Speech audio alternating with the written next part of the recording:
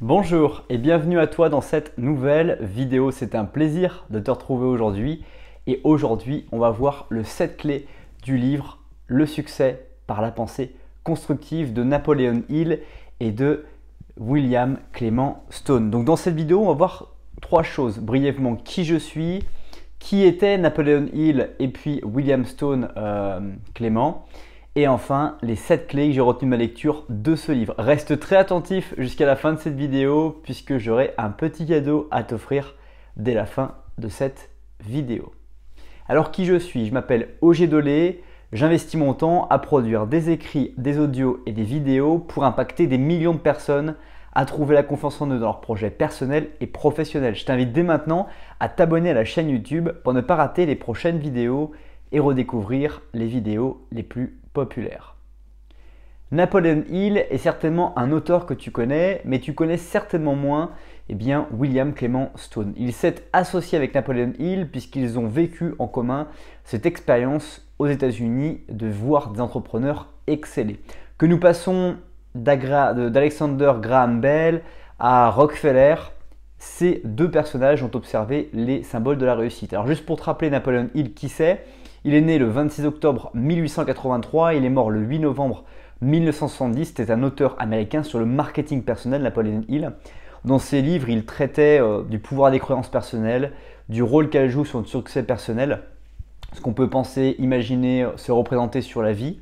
Et euh, il estimait que l'homme peut accomplir tout ce que son esprit peut concevoir et croire. Et d'un autre côté, euh, William Clement Stone est né le 4 mai 1902 et il est mort le, 3 septembre 2002.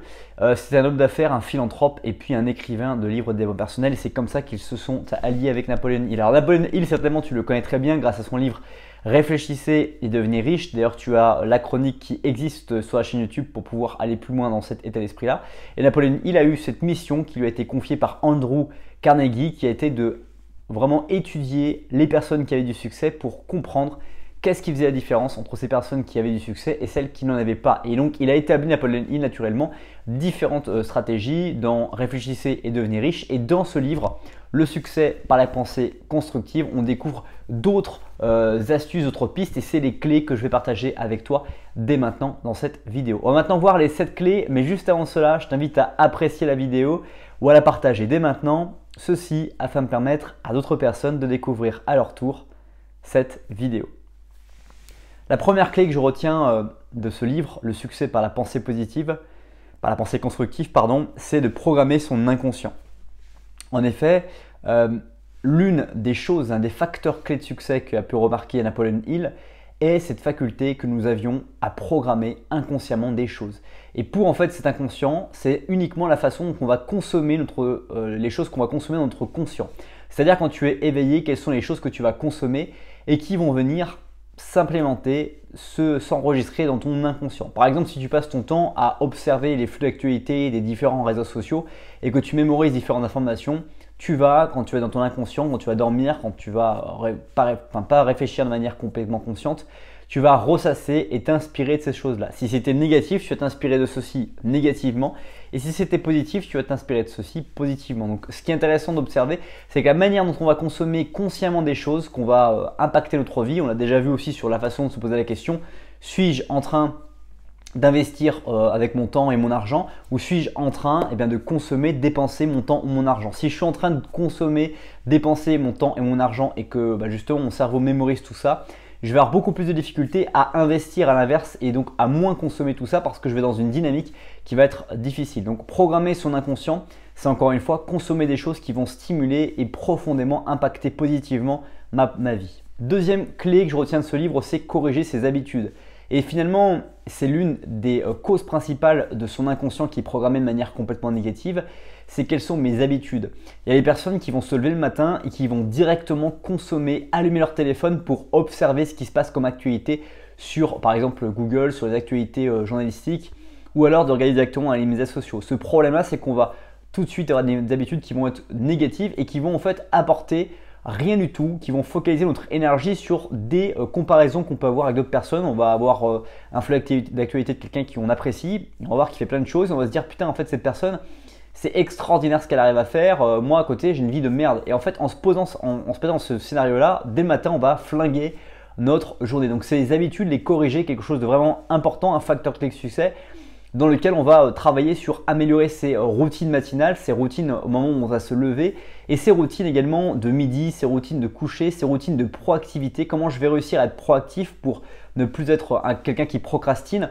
Toute cette faculté qu'on va travailler sur nos habitudes, les corriger, les améliorer, va vraiment nous permettre eh d'avoir une pensée constructive et donc d'améliorer sensiblement nos résultats. Troisième clé que je retiens de la lecture de ce livre, c'est développer une attitude mentale positive. On parle souvent des personnes qui sont autour de nous et on sait très bien qui est négatif et qui est positif.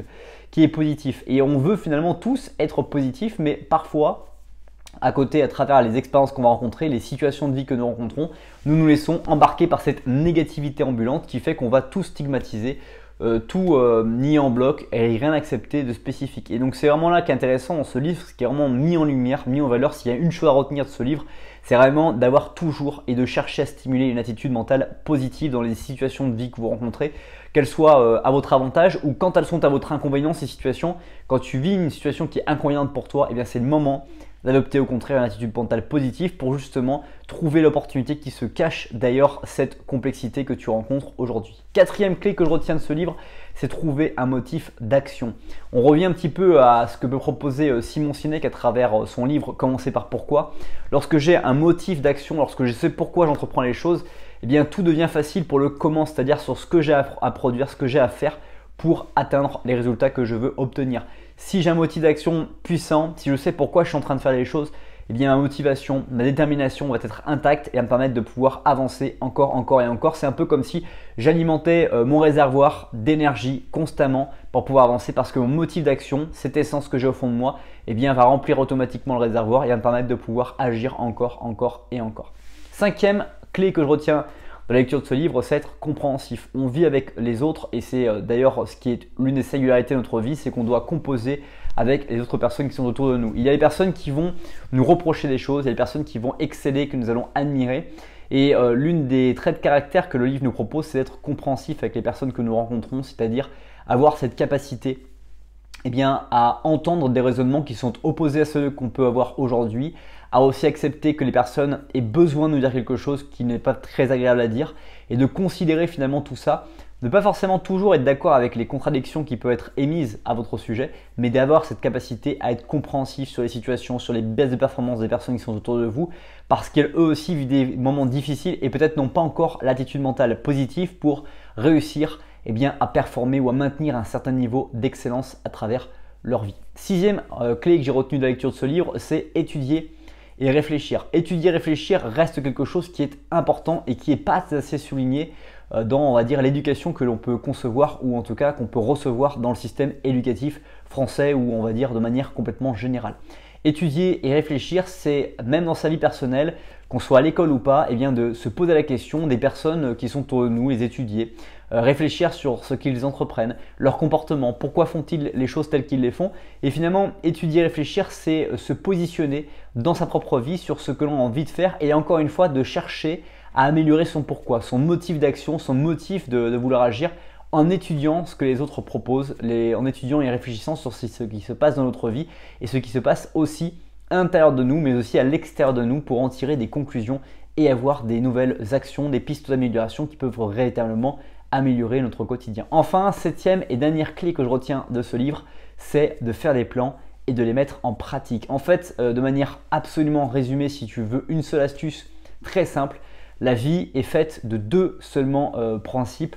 Le premier principe, c'est d'élaborer des plans, de construire des plans par rapport à ce que tu veux réussir. Donc si tu veux braquer une banque, il bah, faut faire un plan. Si tu veux réussir ta vie, faire un plan. Si tu veux euh, réussir telle bataille, il faut faire un plan comme n'importe quelle personne euh, qui, concrètement fait quelque chose dans le monde abstrait que tu, dans lequel tu es, tu dois faire des plans. Et la deuxième étape incontournable, c'est d'agir sur ce plan. C'est de choisir le plan le plus adapté dans la situation dans laquelle tu es, avec les ressources que tu peux avoir aujourd'hui, et de te mettre à agir, appliquer ce plan pour te permettre eh bien, d'atteindre des résultats que tu n'as pas encore dans ta vie et que tu veux viser. Donc encore une fois, c'est très simple, élaborer ce plan et le mettre en application, mais faut-il encore une fois le mettre en application? Car beaucoup de plans sont écrits, mais pas du tout mis en application car trop, trop, trop de réflexion se fait autour et jamais d'action se lance pour finalement expérimenter et voir si ce plan était à la hauteur de la réussite. C'est déjà la fin de cette vidéo, c'était la chronique du livre Le succès par la pensée positive de Napoleon Hill. Si tu as apprécié cette vidéo, je t'invite dès maintenant et à nouveau à t'abonner à la chaîne YouTube pour ne pas rater les prochaines vidéos. Et comme je te l'ai promis en début de cette vidéo, je t'invite à télécharger dès maintenant gratuitement en dessous de cette vidéo 7 euh, secrets pour progresser dans sa vie. Tu trouveras un lien dans la description de cette vidéo. Passe une très bonne suite de journée et je te dis à bientôt pour une prochaine vidéo.